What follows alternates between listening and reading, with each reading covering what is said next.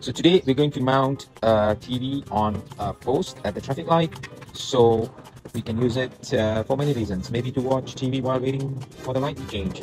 So we put on the bracket uh, onto the post, uh, tidy up the extra straps because this one doesn't have any drilling. You put it on and then you snap in the TV mount. You don't need any drilling, just locks in place by itself. And then put on the TV, whatever size TV up to 65, 70 inches. And then you tighten the safety lock and move it to whatever direction you like left, right, center, tilting, no tilting. Anyone can watch it from any angle of your wish, right? And this is very strong, you can hang on it. And then to remove it, it takes another two minutes. Leave it there, you know what's going